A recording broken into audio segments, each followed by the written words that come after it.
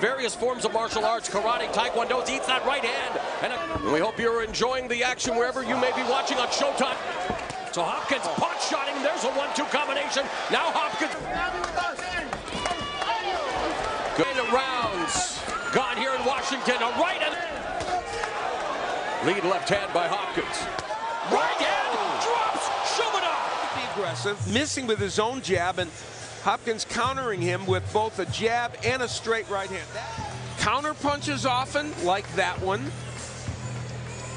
Sometimes lead right hands. There's one right there. Again, a lead right hand. Sets, it, sets things up. And the right hand, which has landed all night over the low left hand of Shumenov, gets in again. Later on in the round, Bernard,